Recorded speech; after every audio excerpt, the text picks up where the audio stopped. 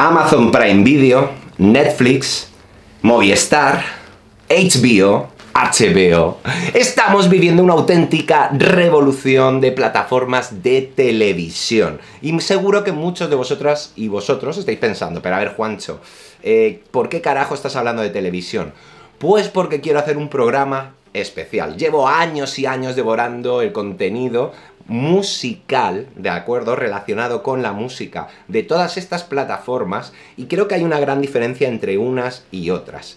En este vídeo, en este programa, vamos a hacer una comparativa y vamos a ver cuál es la peor plataforma con peor contenido para crecer musicalmente y cuál es la que más contenido tiene. Os advierto que hay sorpresa final, ¿eh?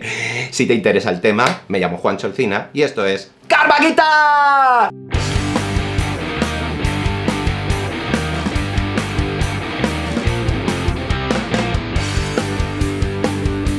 Tal y como dirían nuestros hermanos georgianos, Jape Musabito Pisa, camaradas, buenas noches, ¿qué tal estamos? Espero que vuestro día haya marchado viento en popa toda vela. Yo hoy he tenido un día bastante cansado, pero es que llevo mucho tiempo queriendo subir este tutorial.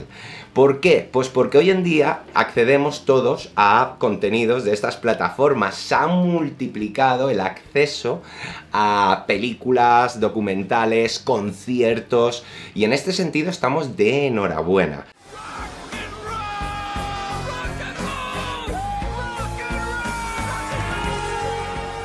Pero bueno, comenzamos con el number 4. HBO. HBO. ¿Por qué? Pues porque tiene un catálogo de mm, documentales, conciertos, conciertos no hay, directamente, si encontráis alguno me lo decís, ¿eh? porque yo he buscado y he buscado y he buscado y no he conseguido encontrar conciertos.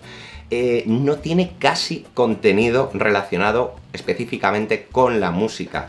Podréis ver que a nivel de documentales pues tienen algo de música clásica, hay un documental de salsa pero un poco viejuno y bueno, también tenemos un documental sobre la estrella caída de la canción afgana. Ese es de los pocos que me ha parecido interesante, pero de verdad, un catálogo muy corto, muy breve. He de deciros que me he dado de baja ya de HBO, eh, además, es que no entiendo cómo hoy en día cualquier plataforma tiene un buscador, tiene tu lista de seguimiento y esta gente, pues no sé, sinceramente, me parece que van para atrás. Me parece que lo único inteligente que han hecho en los últimos meses ha sido eh, contratar la última temporada de Ricky Morty. Oh, tío, vale, muy bien. Uh...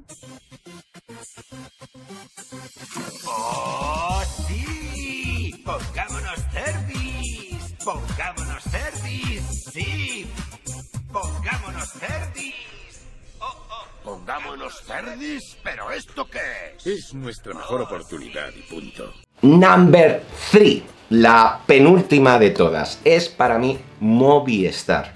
¿Por qué? Eh, me podéis decir, oye Juancho, pero si Movistar tiene contenido original sobre tema de música, eh, también tiene conciertos, tiene documentales. Sí, es cierto que tiene un catálogo amplio, pero sinceramente, con lo que cuesta Movistar, siendo la plataforma más cara, me parece que el catálogo es más corto que en otras plataformas digitales. De acuerdo, aparte, la he querido poner en tercer lugar porque la veo muy orientada a España. Eh, es cierto que de cara a lo que es la música española, hablando de artistas españoles, es la mejor en ese sentido, pero como esto pues es un ranking internacional también para toda Sudamérica, pues bueno, eh, la colocamos en el tercer lugar. Nos vamos acercando ya al podio. Con el número 2, number 2, encontramos Amazon Prime Video.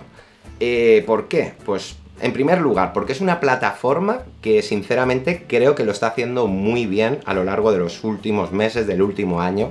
Está mejorando muchísimo el contenido. Siempre me ha gustado que ha tenido contenido bastante antiguo, de la década de los 80, películas para hacer un poco de remember pero es que podéis ver películas que hoy en día están en el cine. Y en ese sentido, a nivel de documentales, no se queda corta. Tenéis algún concierto de, por ejemplo, de Jack White. Y bueno, a nivel de películas podéis encontrar películas muy buenas como Whiplash. Whiplash es una de mis películas favoritas. Otro día, si queréis, hacemos un debate sobre si es buena película o no. Ya sé que es muy controvertida el mensaje que lanza.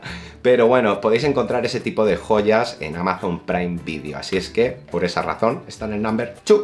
Y llegamos a la número uno, a la number one first position, Netflix. Eh, parece obvio, eh, Netflix quizás eh, creo que es la plataforma más grande, os ha hecho la más grande en los últimos años, pero es que es una pasada, sinceramente me parece y no me paga Netflix ni nada por el estilo, pero de verdad, la cantidad de contenido que tenéis, tanto a nivel de películas como de documentales, como de series documentales, y además hay material original de Netflix y material que ya has comprado, pero es una burrada todo lo que tenéis. Y bueno, ¿esto es todo? Pues no es todo, porque he engañado un poco con el tema del ranking y las posiciones.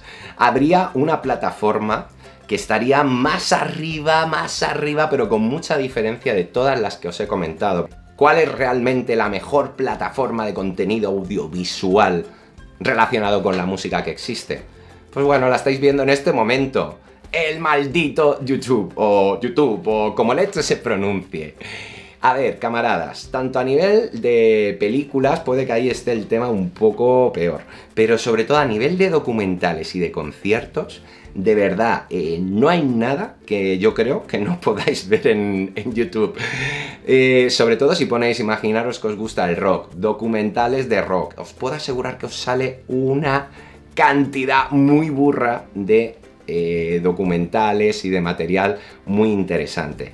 Y nada, camaradas, pues espero que os haya gustado este programa especial y deciros que si os gusta la idea de que vaya haciendo Mm, vaya sacando programas contando un poco los mejores documentales o películas que he visto, por lo menos lo que es la información así para sacarle la salsa, la chicha, pues por favor dejadmelo en los comentarios que me animaréis a darle caña. Si no, pues bueno, aunque no lo vea nadie, aunque no lo vea ni papicho, ahí estaremos siempre dando caña, burra, rock and roll, buen karma y buen sexo. Ser jodidamente felices.